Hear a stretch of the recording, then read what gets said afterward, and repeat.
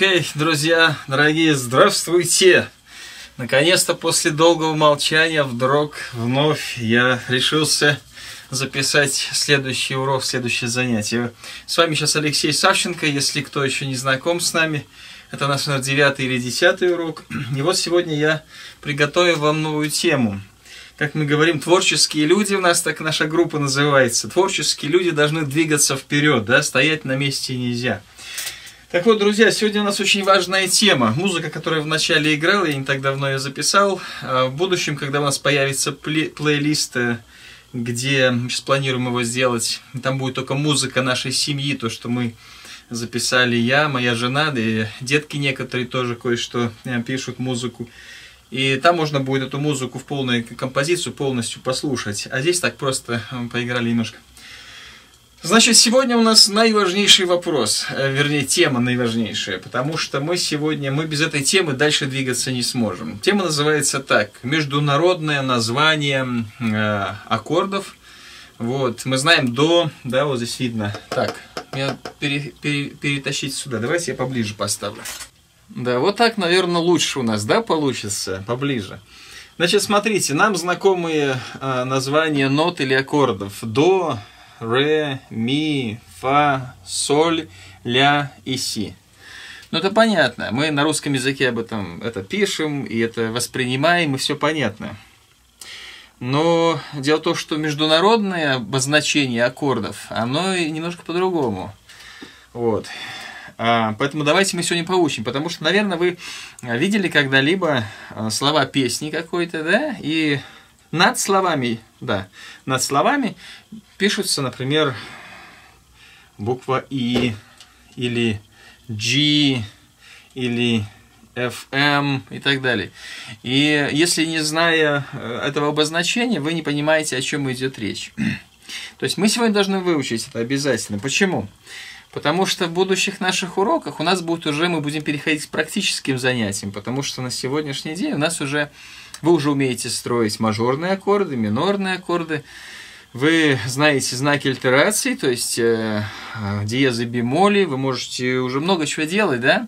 Но мы не можем сейчас пытаться аккомпанировать песням, вот, практические занятия делать. Почему? Потому что мы не знаем пока вот э, название вот это э, аккордов, да?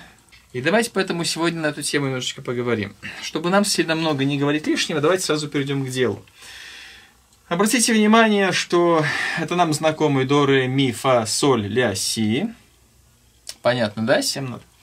7 аккордов, 7 нот. Итак, мажор. Здесь может быть плохо э, видно, да, зеленым я написал мажорный. Мажорные аккорды.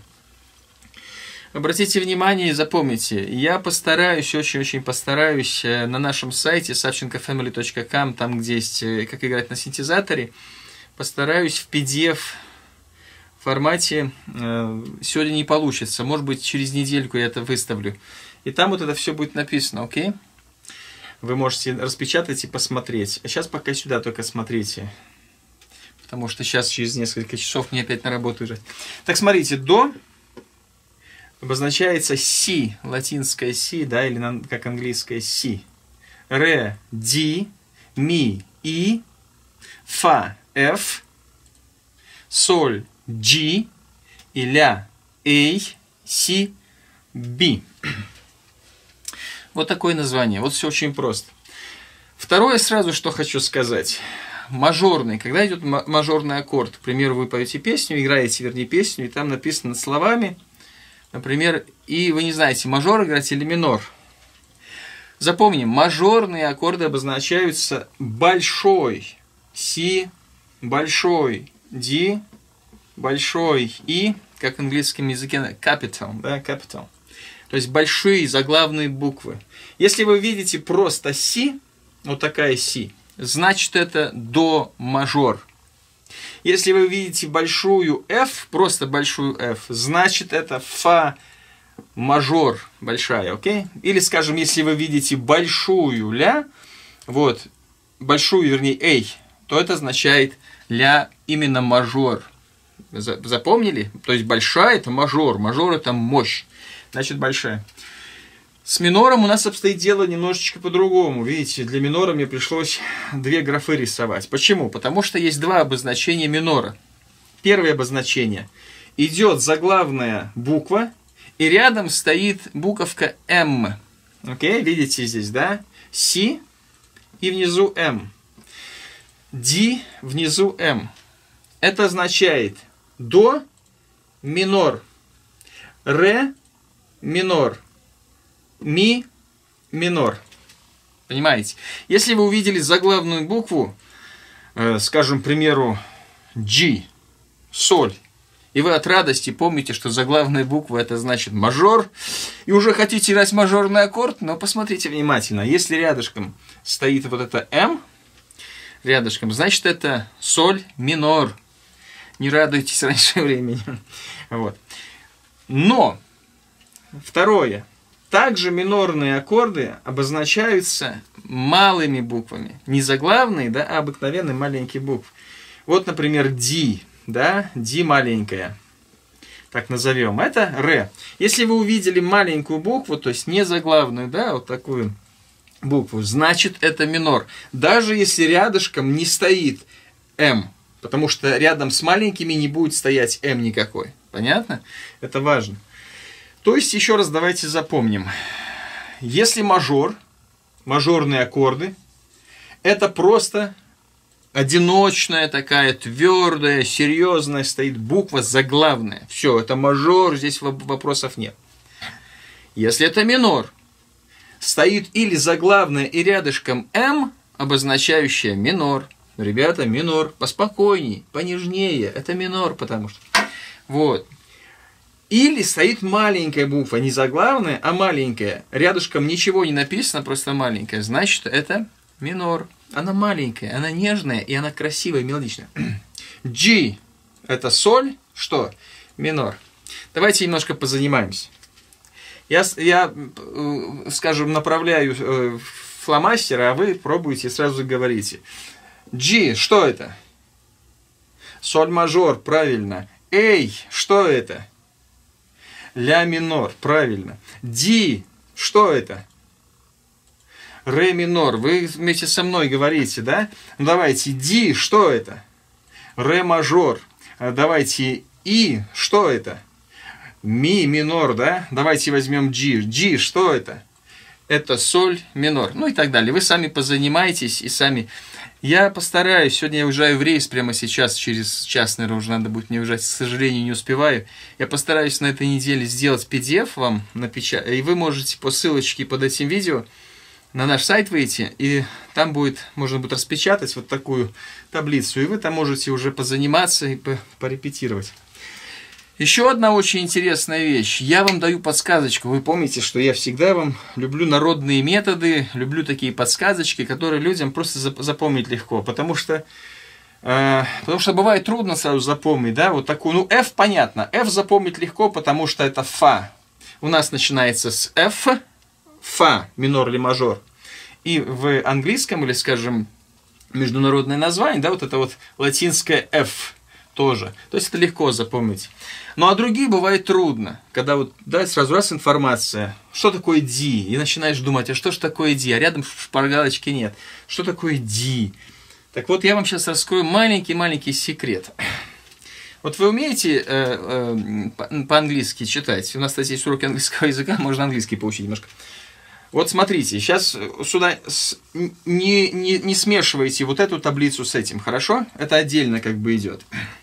Я вам сейчас напишу ан- английскую, латинскую, вернее, алфавит, да, английский. Смотрите. A, B, C, D, E, F, G. H, I, J, K, L, M, N, O, P и так далее. Нам туда далеко не надо ходить, окей? Okay? A, B, C, D, E, F, G. Sorry, я написал, сказал G, я написал D. G. Окей? Okay? Видно вам, нет? Вот я боюсь, что вам видно, слабенько видно. Ну ладно, я надеюсь, что я вам буду объяснять и будет все понятно. Так вот, смотрите, возьмем красный теперь. Если вдруг, если вдруг вы забыли какая-то, скажем, ди, к примеру, D. Что ж, что ж за аккорд D? Вот вы вспоминаете, ну не можете вспомнить, забыли и все. Бывает такое. Мне 44, и даже у меня бывает. Так смотрите, друзья, теперь секрет, секрет, секрет. Получите эти, скажем, 7 букв алфавита. A, B, C, D, E, F, G. Okay? Вместе со мной. A, B, C, D, E, F, G. Все. Так вот, обратите внимание, вы можете вычислить. Вы помните, когда мы в первый класс ходили, нам говорили, сколько будет 2 плюс 2? И мы когда еще не умели э, считать, как мы считали? Мы брали 1, 2. И что мы делали? Мы просто прибавляли еще 2. 3. А, можно я? Я знаю ответ. 4 будет, правильно. То есть вот так вот бывает, когда мы стартуем какое-то новое что-то начинаем изучать. Вот так бывает, мы этим пользуемся. Так же самое здесь. Смотрите алфавит A, B, C, D, E, F, G, а внизу я напишу те аккорды, которые, потому что они по порядку идут. Но, к сожалению, почему-то так получилось, что они идут не с до. Мы обычно стартуем всегда в музыке с до. До, ре, ми, фа, соль, да? А здесь как бы старт идет с ля. Так вот, смотрите. A – это ля. Си. И потом пошло до, ре, ми, фа, соль. Вам понятно? Ну, то, что я сейчас объяснил. Вдруг, если вы запомните, вы вспомните, э, э, значит, английский алфавит A, B, C, D, E, F, G и посчитайте просто с ля, отталкиваясь, ля это A, ля это A, B это C и так далее. И посчитайте просто с ля, если ля, э, к примеру, у вас C, и вот вы забыли C, как же C, вот начинайте с ля. Так, ля это A, ага, си это AB, си, а, си, до, точно до, до, си, да, си это до. Ну, это так чисто подсказочка вдруг. В будущем вам это не пригодится, когда у вас уже будет хорошая практика и так далее. А вначале это пригодится. Давайте я вот что еще хочу вам сказать. Давайте мы еще раз закрепим урок, потом я еще раз эту музыку сыграю, которая в начале, и на сегодня мы с вами попрощаемся, скажем до свидания друг другу. Так вот, смотрите, до до. Если мажор – это большая буква латинская си. Если это минор, это либо большая си с м, либо маленькая си. Усвоили? Ну и так далее. Чтобы ваше время не занимать, вы можете сами почитать, посмотреть, и здесь все понятно. Важнейший урок, который я вам преподал сегодня. Почему? Почему важно? Потому что у нас со следующих уроков, вот скоро-скоро, несколько еще в будущем, мы на нашем э, канале семейном, мы поем песни. Может быть, вы слышали на слова Михаила Юрьевича Лермонтова «Молитва, да, в минуту жизни трудную». Хорошая песня очень. Ну и другие песни мы поем там. Мы очень хотим, чтобы каждая песня, которая у нас есть в музыкальном плейлисте, и на русском, на английском языке, может быть, ну, для начала на русском, э, чтобы каждая песня имела э, в PDF-формате слова – слова, чтобы имела вместе с этим обозначением аккордов. Понимаете? Это важно. И э, мы это сделаем, мы постараемся это сделать. На все время не хватает, но мы очень постараемся. И если вдруг вот на нашем канале среди наших песен вы услышали какую-то хорошую песню, и у вас желание, а если я попробую ее поиграть, что вы делаете? Вы выходите на наш э, канал, с канала на сайт, берете PDF, листочек печатаете, над каждым э, над словами написано обозначение аккордов, включаете компьютер, садитесь за синтезатор и начинаете играть. Мы поем с компьютера, вы слышите, как мы поем, вот, у вас есть над словами аккорды, и вы просто, это называется уже практика, практика. И мы будем вместе с вами заниматься. У нас будут практические некоторые еще уроки в будущем, и это будет замечательно. Поэтому вот этот урок, он наиважнейший в следующем нашем шаге, ну, движение вперед, развитие. Что в заключение, прежде чем я сыграю музыку, я еще раз хочу у вас у всех попросить прощения, извиниться, что такие огромные, ну, скажем, паузы, молчания моего, друзья, сжат временем, зима подходит, может быть, немножечко будет больше времени, я очень постараюсь, чтобы мы двинулись вперед, хорошо?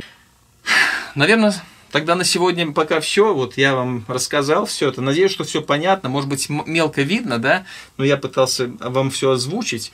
Поэтому надеюсь, что все понятно. Вы можете себе пока на листочке вот это переписать, вот эту таблицу, да, себе на листке. И вот позанимайтесь, позанимайтесь.